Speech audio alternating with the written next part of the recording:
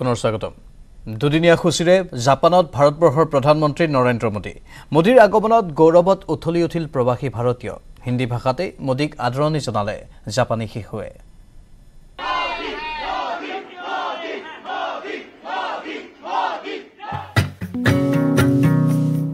জাপানত ভাৰত মাতাক আছিল গৌৰৱত উঠলি উঠিল প্ৰৱাসী ভাৰতীয়।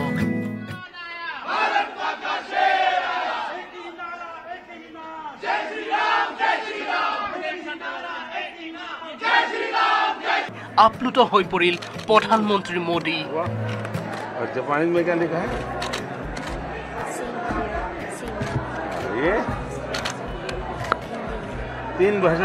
অট'গ্ৰাফ গ্ৰহণ কৰিবলৈ অহা জাপানী শিশুকেইটিক ইমান সুন্দৰ হিন্দী কোনে শিকাইছে বুলি প্ৰশ্ন কৰিলে প্ৰধানমন্ত্ৰীয়ে।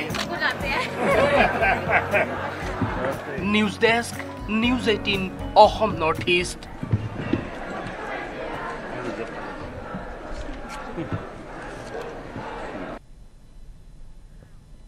এবছৰ পূৰ্ণ কৰা ডক্টৰ হিমন্ত বিশ্ব শৰ্মাৰ মন্ত্ৰীসভাৰ কেতিয়াকৈ সম্প্ৰসাৰণ হ'ব? সম্প্ৰসাৰণত কোনো মন্ত্ৰী বাদ পৰিব নেকি? যদি সম্প্ৰসাৰণ বা ৰদবদল হয় কোনে কোনে পাব মন্ত্ৰিত্ব? এই কথাবোৰ দিছপুৰত গোপনে চৰ্চা চলি থকাৰ সময়তেই মুখ্যমন্ত্ৰী হিমন্ত বিশ্ব শৰ্মাই দেওবাৰে নতুন দিল্লীত চলিত বছৰৰ শেষৰ ফালে মন্ত্ৰীসভাৰ সম্প্ৰসাৰণৰ বিষয়টো চাব বুলি সদৰি কৰে। কেতিয়া হ'ব ডক্টৰ হিমন্ত বিশ্ব শৰ্মাৰ মন্ত্ৰীসভাৰ সম্প্ৰসাৰণ? মুখ্যমন্ত্ৰী ডক্টৰ শৰ্মা চৰকাৰৰ প্ৰথমটো বৰ্ষপূৰ্তিৰ পিছত।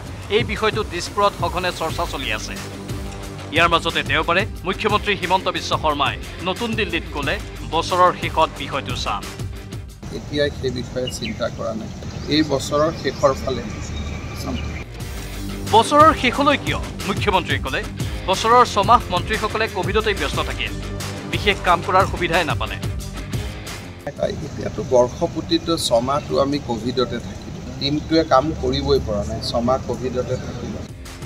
মুখ্যমন্ত্ৰীৰ এই ঘোষণাৰ পিছত শাসকীয় মিত্ৰজোঁটৰ অংশীদাৰী দল এ জি পিৰ জ্যেষ্ঠ বিধায়ক ৰমেন্দ্ৰ নাৰায়ণ কলিতাই ক'লে মন্ত্ৰীসভাৰ সম্প্ৰসাৰণৰ বিষয়টো মুখ্যমন্ত্ৰীৰ এখতিয়াৰৰ বিষয়। যেতিয়াই বিচাৰে তেতিয়াই কৰিব পাৰে সম্প্ৰসাৰণ। মন্ত্ৰীসভা সম্প্ৰসাৰণ কৰা মন্ত্ৰীসভা ৰদবদল কৰা এইটো সম্পূৰ্ণ মাননীয় মুখ্যমন্ত্ৰীৰ ওপৰত দায়িত্ব ন্যস্ত আছে সাংবিধানিকভাৱে। লগতে ৰমেন্দ্ৰ নাৰায়ণ কলিতাই ক'লে এ জি পিৰ আৰু এজনক মন্ত্ৰিত্ব দিলে ভাল পাম। মিত্ৰজোঁট হিচাপে যদি আমাৰ দলক এগৰাকী মন্ত্ৰী বঢ়াই দিয়ে তেতিয়াহ'লে ভাল কথা ভালদৰে কাম কৰিব ভালদৰে আমি মানে মিত্ৰজোঁটত থাকি কাম কৰাৰ কাৰণে সুবিধা পাব। গতিকে দিয়াটোতো মই বিচাৰিমেই। বিজেপি নেতৃত্বাধীন মিত্ৰজোঁটৰ বিগত চৰকাৰত এ জি পিৰ তিনিজনক মন্ত্ৰিত্ব দিছিল। কিন্তু হিমন্ত বিশ্ব শৰ্মাৰ চৰকাৰত আছে এ জি পিৰ দুজন মন্ত্ৰী। ইপিনে মিত্ৰজোঁটৰ আনটো অংশীদাৰ দল ইউ পি পি এলৰ দুজনে ডক্টৰ শৰ্মাৰ মন্ত্ৰীসভাত স্থান পাইছে যদিও আৰু এজনক মন্ত্ৰিত্ব দিবলৈ মুখ্যমন্ত্ৰীক হেঁচা দি আছে ইউ পি পি এলে।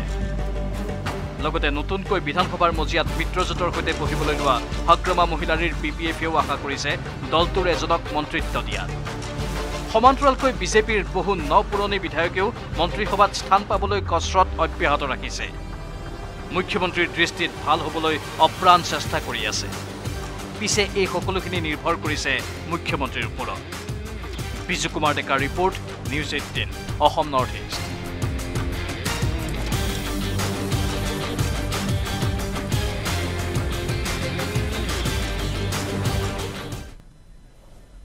Karbi আংলঙত এতিয়া নিৰ্বাচনী গৰম বতাহ বলিছে। আঠ জুনত অনুষ্ঠিত হ'ব পৰিষদীয় নিৰ্বাচন। মনোনয়ন দাখিলৰ অন্তিম দিনা উপায়ুক্তৰ কাৰ্যালয়ৰ লগতে মহকুমাধিপতিৰ কাৰ্যালয়ত ভিৰ লাগিল প্ৰাৰ্থীৰ।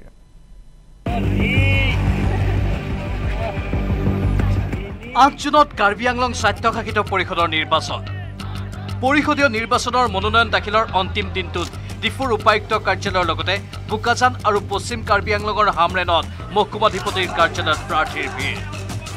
আগবেলাৰ পৰা নিজ নিজ সমৰ্থকসকলক লৈ বিজেপিৰ লগতে Congress A S T C C P I M L AAP A P H L চিৰ ভিন ভিন পৰিষদীয় সমষ্টিৰ প্ৰাৰ্থীয়ে দাখিল কৰিলে।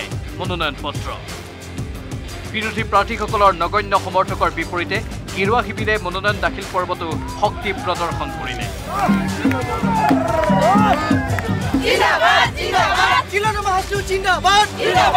মনোনয়ন দাখিল কৰিলে বিজেপিৰ হেভিৱেট হাই প্ৰফাইল প্ৰাৰ্থী তথা কাৰ্বি পৰিষদৰ বৰ্তমানৰ চি এম তুলিৰাম ৰংহাঙে।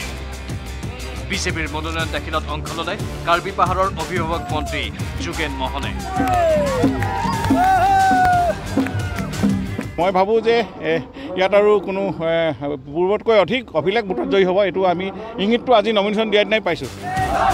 আনহাতে বোকাজান সমষ্টিৰ বিধায়ক তথা অসম বিধানসভাৰ উপাধ্যক্ষ ডাক্তৰ নোমল মমিনৰ উপস্থিতিত বোকাজানত সাতটা পৰিষদীয় সমষ্টিৰ বিজেপি প্ৰাৰ্থীয়ে মনোনয়ন দাখিল কৰে।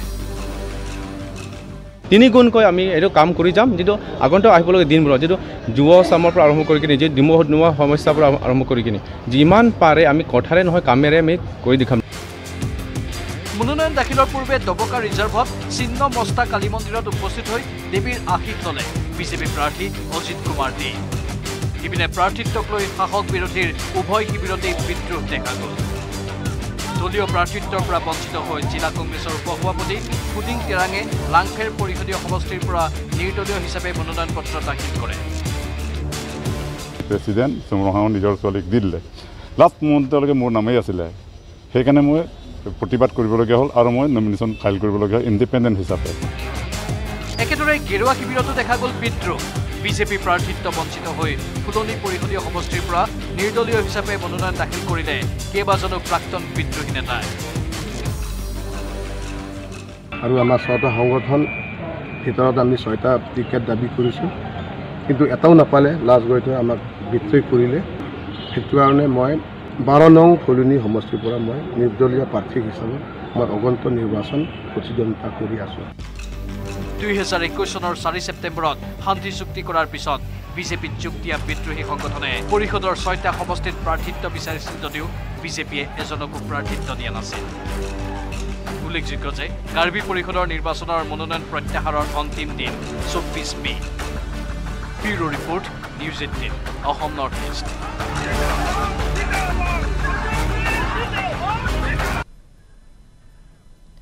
পেৰাগ্লাইডিঙৰ সময়তে ভয়ংকৰ অঘটন দুৰ্ঘটনাত আহত হ'ল তিনিজন লোক। দমনৰ জামপুৰ বীচ এই বিশেষ স্থানত সংঘটিত হ'ল এই ঘটনা। সম্পূৰ্ণ সাজু তাৰ পিছত উৰিল পেৰাচুট। পেৰাগ্লাইডিঙৰ আনন্দত পৰিল জ্যোতি। এই দৃশ্য দমনৰ জামপুৰ বিচ্চৰ পেৰাগ্লাইডিং কৰিবলৈ সাজু হৈছে তিনিজন লোক। সঠিক সময়ত আৰম্ভ হৈছিল পেৰাগ্লাইডিং। পিছে পেৰাগ্লাইডিঙৰ আনন্দ ল'বলৈ নৌ পাওঁতেই ঘটি গ'ল সেই ভয়ংকৰ অথন্তৰ। বতাহৰ গতিবেগ বৃদ্ধি আৰু দিশ সলনিৰ ফলত সংঘটিত হ'ল ভয়ংকৰ ঘটনা। সমগ্ৰ ঘটনাৰ দৃশ্য বন্দী হৈ ৰ'ল কেমেৰাত উৰাৰ খন্তেক সময়ৰ পাছতে হোৱা দুৰ্ঘটনাত আঘাতপ্ৰাপ্ত হ'ল পেৰাগ্লাইডিং কৰা তিনিওজন লোক। পৰৱৰ্তী সময়ত আঘাতপ্ৰাপ্ত লোককেইজনক প্ৰেৰণ কৰা হয় চিকিৎসালয়লৈ। News desk news eighteen Assam North East.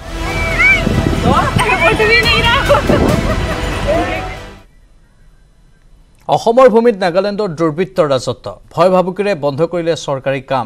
মৰিয়নিৰ নাগাজংকা অঞ্চলত এই ঘটনা সংঘটিত হৈছে। এই প্ৰতিবেদন আগবঢ়াই বিদায় লৈছোঁ এতিয়াৰ বাতৰিৰ পৰা। নমস্কাৰ শুভৰাত্ৰি। মৰিয়নি অসম নাগালেণ্ড সীমান্তত পুনৰ নগাৰ ভাবুকি। অসমৰ ভূমিত বন্ধ কৰোৱালে চৰকাৰী আঁচনিৰ কাম।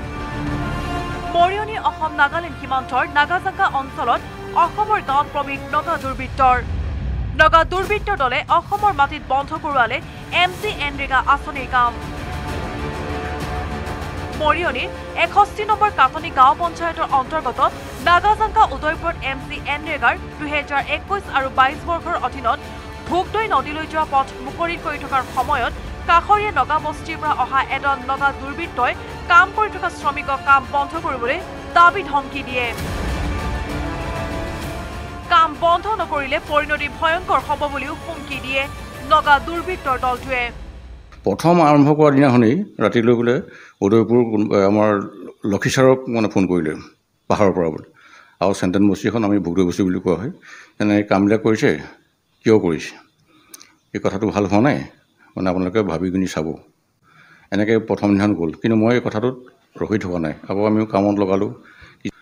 আকৌ মানে মানে ফিজিকেলি সিহঁতৰ মানুহ আহিছিলে আহি ক'লে তহঁতকো আমি চিনি পাওঁ বা আমাকো ধৰি চিনি পাওঁ আমাৰ একো নাই আমি একো নকৰোঁ। কিন্তু কিবা যদি ঘট মানে ঘটনা হয় তেতিয়াহ'লে আমাৰ গাত দায় নহয়। সেইকাৰণে ভাবি চিনি কাম কৰক। এম চি এনৰেগাৰ চৰকাৰী কামত এনেদৰে নগা দুৰ্বৃত্তই দিন দুপৰতে ভাবুকি প্ৰদান কৰাক সম্প্ৰতি তীব্ৰ প্ৰতিক্ৰিয়াৰ সৃষ্টি হৈছে মৰিয়নি অসম নাগালেণ্ড সীমান্তত। ইতিমধ্যে পঞ্চায়তখনৰ সভাপতি